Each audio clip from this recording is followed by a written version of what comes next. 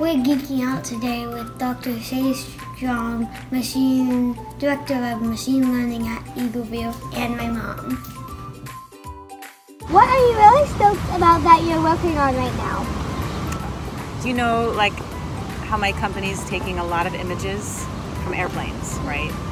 So we're taking tons and tons of photographs, looking down on top of all of these houses, and each one of those little pieces within the image, we can train a computer to identify everything going on in that image. So we can look at how roofs are maybe damaged, maybe how there's pools or trampolines, there's driveways or garages or cars, there's vegetation. We can do all these really cool things. And so we're working to train our computers right now to find all of these things for the entire US and then hopefully one day for the rest of the world.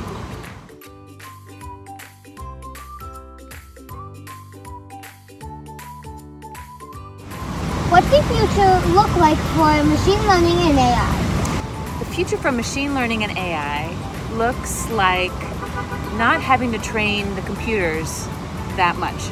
So, you know, like as a kid, we have to teach you right and wrong. We have to teach you when to do certain things and when not to do certain things.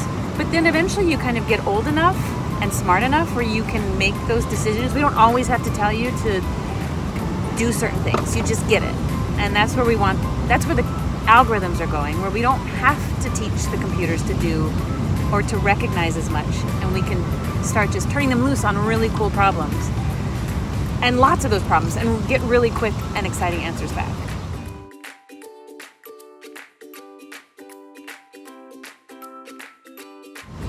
What's your message to young girls looking to get into the STEM career? Oh man, science is awesome. It's so cool. You get to do such amazing things. I've gotten to go to so many wonderful places.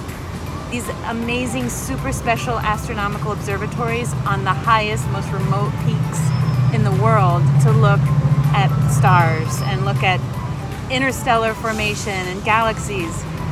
And I've gotten to be on cliffs in Hawaii operating lots of cool equipment and being able to watch gray whales migrate off in the distance. I think just there's so many awesome things with science and it's just so much fun and you get to do so many different exciting cool fun projects.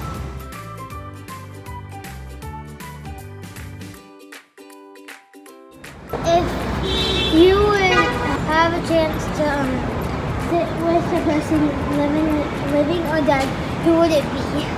Oh, for dinner, if I had a chance to Yeah, sit with a person dinner. living or dead, I that's so tough because I like I like quiet time. So I really like quiet dinners where I can maybe be like anonymous. You know what anonymous means? Like like just nobody knows who I am. But I think Zelda Fitzgerald could be kind of cool. You know, I named Zelda for her. Mm-hmm. She's super artistic and smart and a little crazy, but she would make for a pretty fun dinner companion.